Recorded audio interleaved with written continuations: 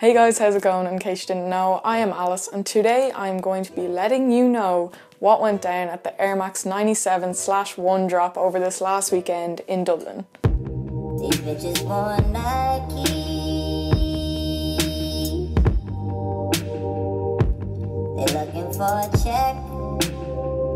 Tell them it ain't likely. So what I'm going to do in this video is talk you through my experience of the drop. I went to all three shops that were offering the shoe. The reason why I wanted this shoe so bad is just because I love the design, the colours, the corduroy.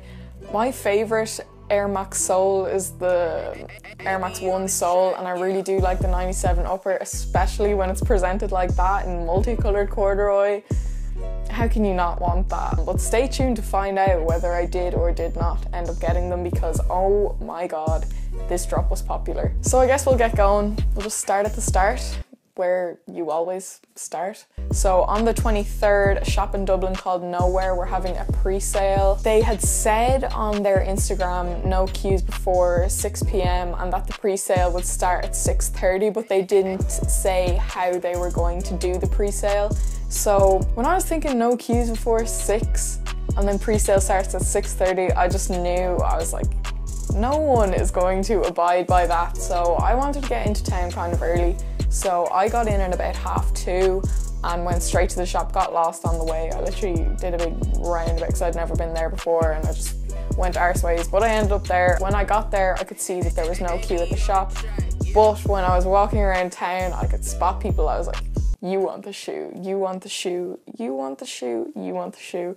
And we all were just suspiciously loitering around that street. So I was like that for a while and then I saw two guys walk by. They were both wearing Yeezys. One of them had Supreme. I was like, "You're you're here for the shoe as well." I asked the two lads when they walked by me. I was like, "Oh, what's the story? What's going on?" And then we just started chatting for a while at this shop closed down shop that was beside nowhere. So we were just chatting for a while. And then I think people thought that we were starting a queue. Staff came out and they were like, seriously lads, no queues. So then we left and just went around the corner to a shop. I also saw a familiar face. Shout out to Alex Smith, the Smith View. But yeah, we waited around that corner then and another guy came over, we got talking. And then another guy came over and he was like, oh, are you guys queuing? And I've got a spot in the coffee shop right beside it where we can watch to make sure no one, you know, gets there before us. So we went to the coffee shop and we sat there for, I don't even know, maybe two hours or something like that. But while we were there, the Instagram for Nowhere put up a story saying that they were gonna do a raffle.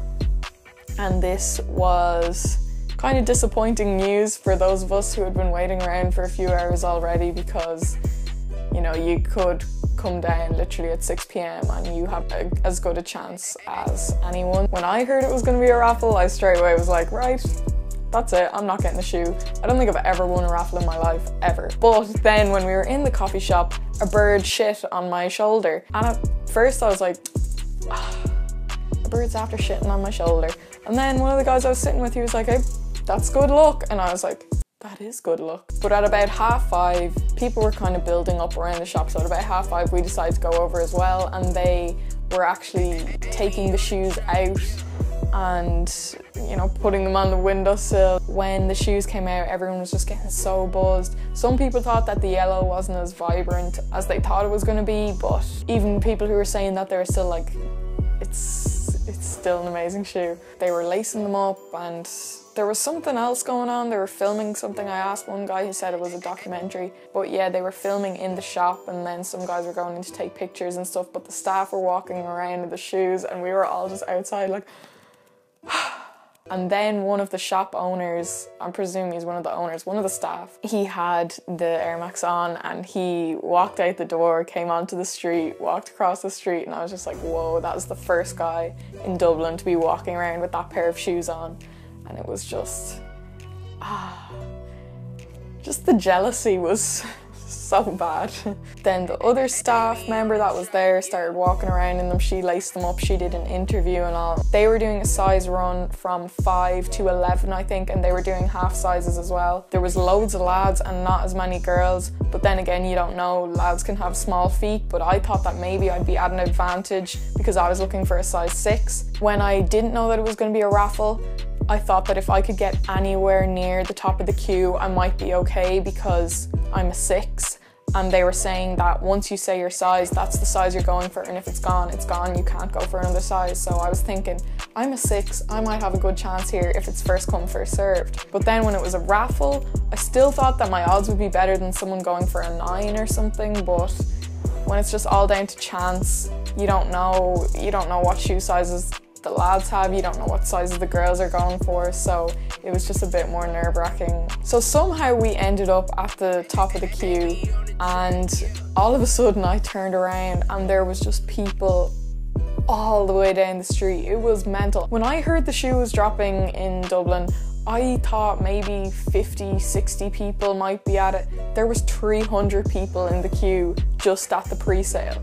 It was absolutely nuts. I had never seen so many expensive clothes. You don't have to be wearing expensive clothes to be stylish, and I know all that, but it was just crazy to see it all in person. And it was just crazy that that was happening in Dublin, and it was so cool to see. There were people there in the Nike Atmos and just all of these shoes that I didn't think I'd ever see in person, really. And it was just mental. I was I was really excited by it all. It was just a really, really cool experience to be able to see all those clothes. Because there was a queue of about 300 people, obviously this was attracting a lot of attention from people walking by and people were coming up to us and being like, what's going on? What are you queuing for? we were like, shoes, and they just were like, shoes? But yeah, they just didn't get it. They were like, is it a special sale on? Oh, is the shop closing down? Do they have special offers? And we were just like, the very opposite, my friend, the very opposite. And so then they started splitting up raffle tickets into different bags. They had like a range of, I don't know how many, maybe like, for example, a size 8, they had tickets from 40 to 60, I don't know, in the bag. And then whoever wanted an 8 had to pick out a ticket from there, get a stamp, and then they brought the bag back in and later on they drew one ticket and that was the person who was getting the shoe. And they did that for every size so I went up for my size 6 and because I was at the top of the queue I couldn't really see how many other people were going for sixes but I went up and I put my hand in I think I was the first person to go for the 6 I put my hand in and took out a ticket and she didn't notice but I had taken it was like three tickets kind of stuck together. They hadn't really been split up or something. But when I took it out, I don't know what happened, but my brain was just like, say it. So I was like, I said to her, I was like, oh, I got three tickets there. If I had kept the three tickets, my chances would have been higher, but at the same time, I didn't want any bad karma here, so I just told her. It was probably half seven by the time of the raffle, maybe around then. And so they came out, and the girl picked one ticket out of the bag. She came out, shouted the number. The number travelled down, and then the person who won got a bit of a cheer and went up and paid for their shoes. So they did this for every size, and when it came to the six, she came out the door, she said, size six, ticket number 99. And I was like, ticket number 94. It's worse when you've seen them in person because you're like, whoa, I really, really want the shoes. And before going to the drop, I was like, ooh, 160 for a pair of shoes, like that's a lot. Like, am I sure I want to pay that? But when I was there, I was literally like, I'll pay 200, I'll pay 250 for these shoes, I don't care because you see them. And when you see 300 people in a queue for, for the shoe, you're just like, oh my god, I want this. And when people are getting them, you look at them and you're like, you're going to be one of the very few people walking around here in those shoes. I'll once again say that the reason I was buying these shoes was not because they were really hyped. It was just that I have an interest in fashion and these shoes were just so cool and I just wanted them. But the hype definitely, definitely influences you in how much you want them and how much you're willing to spend for them. So they went through all of the sizes once and then came out and said, that's it, all the shoes are gone. So they had one pair to, to raffle off for each size that they had on offer.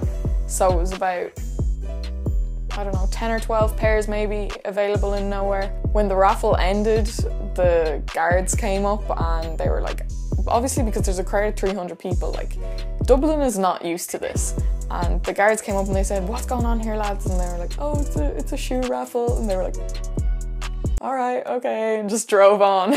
so once the Nowhere raffle ended, I headed straight to Size Size is another shop in Dublin and they were releasing the shoe the following morning at 9 and it was first come first served. So I went down, I wasn't planning on queuing because at this stage it was about 8 p.m.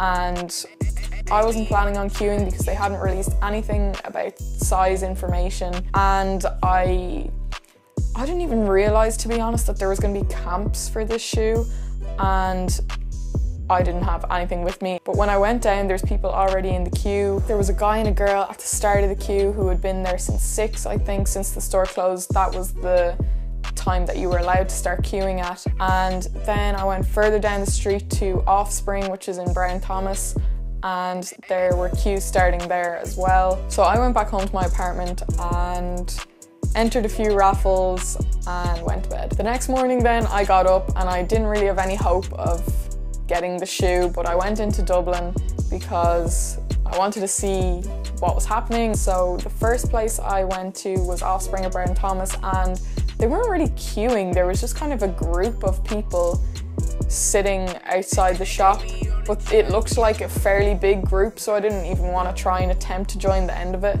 And then I went down to size and there really wasn't that many people there, maybe 25 or something. And again, because I was looking for a size six, I thought might as well chance it because maybe none of these people are looking for a six. So I joined the end of that queue. But then as it came up to nine o'clock, some arguments started breaking out over a list. Size had posted that they weren't going to take any responsibility for a list, but these two guys had a list that they had taken apparently at 2 p.m. the day before, but you weren't supposed to be queuing until the shop closed, so there was all kind of arguments over that. There was a group on the left hand side of the shop that were saying they were all on the list since 2 o'clock yesterday, and then there was the group that had actually waited the 12 hours. I don't know, I wasn't there all night, so I don't really know what went on, but it seemed like the people who were on the list were kind of coming and going and weren't kind of consistently queuing for the whole night like the people on the right hand side were. They had been there for 12 or 13 hours and the shop opened and they started selling shoes and the first three people that got them went straight to their car, didn't take the shoe out of the box. The fourth and fifth people that came out, I think they were the ones who took the shoe out of the box first and it was just cool. It was cool to see but at the same time it was really like depressing because I wasn't going to get a pair. And then soon enough, after maybe 10 or 12 people, the shoe sold out. So yeah, it was disappointing again. But to be honest, I was most disappointed for the people who had waited 13 hours and didn't get a pair of shoes. The guy and girl that were at the top of the line when I came by at about 8 pm the night before, they didn't get a pair even though they had been top of the queue and had waited there the longest. So when they sold out in size, I ran down to Offspring just, just to see.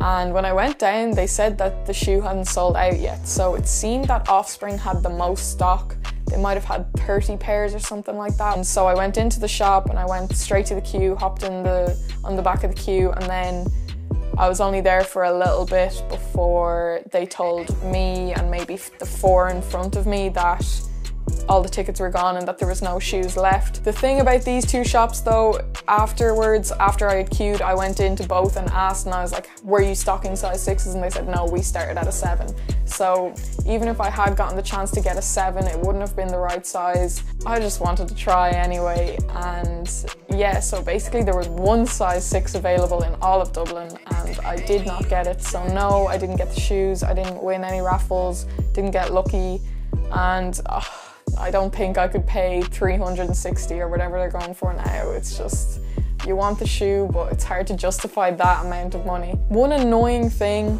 was that people were coming out of the shops and trying to sell their pair straight away. I went down after I was in size, I went down to Offspring and started talking to some guys outside of Brown Thomas just to ask if the shoe had been sold out.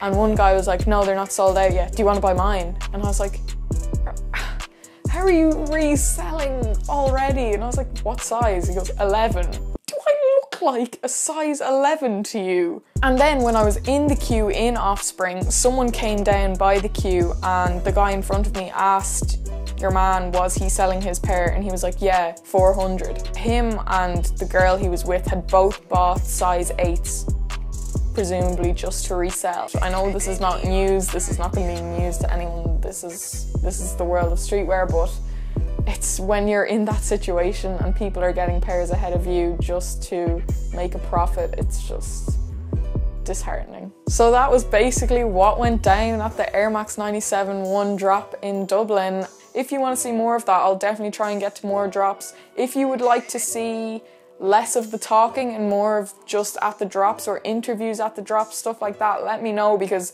I'd love to do it. I had such a good time doing it and I met really nice people, so I'd definitely be eager to do it again. So if it is something you want to see, let me know. I hope this video didn't ramble on for too long and I hope you enjoyed it. Please like, comment, subscribe, do all that fun stuff, and you could have a look at some of my other videos and see if anything there takes your fancy and give that a watch. But that's all for now, guys. I will catch you in the next one. AB on the track, yeah.